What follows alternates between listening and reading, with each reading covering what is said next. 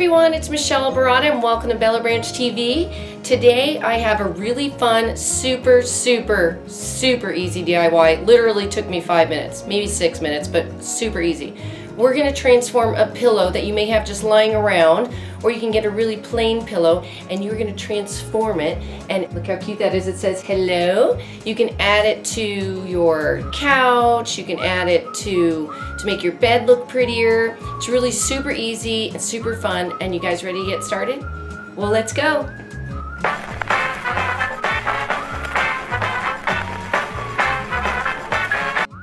Need for this project is a plain pillow, some really thick yarn, scissors, a pen, a glue gun, or fabric glue. First you're going to take your plain pillow and your pen and you're going to draw a word on it. And I'm drawing the word hello.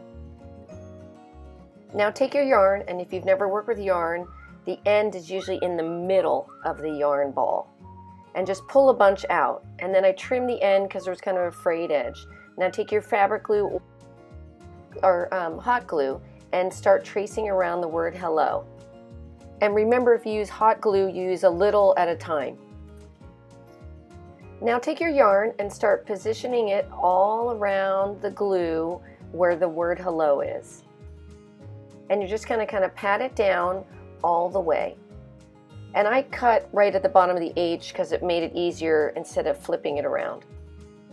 And you may need to add glue along the way and after you completely cover the area with your yarn. You're going to go back with your glue and you're going to kind of do little touch points of places that may need a little extra help with some glue.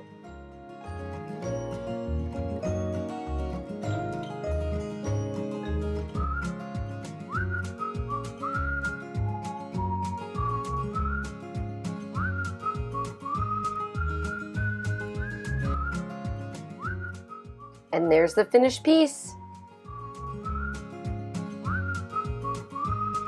I hope you guys loved today's DIY. I think it turned out great. I think it was really easy and you can really use any word that you want. That You know, you can use, use a shape like a heart or a star, but you can transform something really quickly for anything. You can put a name on here. It'd be really cute if you had somebody's name on here.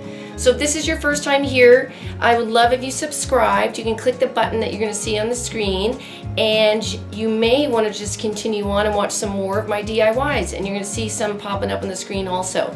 And until next time, everybody, I hope you have an awesome, awesome week. Bye!